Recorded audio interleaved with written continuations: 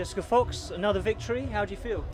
Oh, I'm I'm so happy. You know, it's uh, it's been a great World Cup season for me in C1, and uh, I really enjoy paddling here in Bratislava. It's great whitewater, and you know, I'm happy to have done better than uh, my result in 2011 Worlds. So it's uh, good to finish on that note. It was a tough and technical course today. Um, what were the main uh, uh, difficulties for you?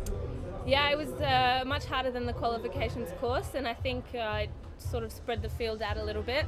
Um, you know, there was moves the whole way down the course, starting with six, seven, eight. Uh, that was challenging, and then you know in the middle section, and then to finish on the bottom drop, some girls had trouble with that, and I just really wanted to make sure I got all the gates and kept the boat running the whole way down. Since your silver medal last year, you haven't really looked back. Um, what's been your best performance this season? I'd have to say my uh, double win in Tacen last week was definitely a, a highlight and a big milestone for me in K1 as well as C1. So I'm really happy to finish in C1 now with four wins and a silver, and in K1, well, we'll just have to wait and see. Uh, the Australians are doing pretty well, particularly in the C1 women. Uh, what do you put that down to?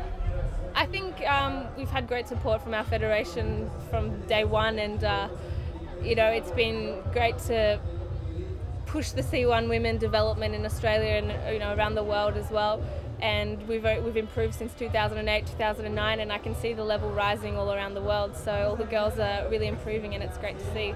You've got the K1 still to go tomorrow. Uh, what are you going to do from now until then to prepare?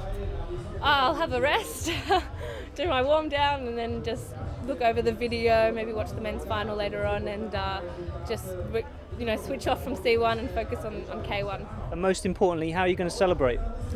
Oh, it's not over yet for me. We've still got the World Championships in a couple of weeks' time, so we'll just uh, build up in Prague to the World Championships in mid-September, and then I'll have time to relax after that. Congratulations. Thank you.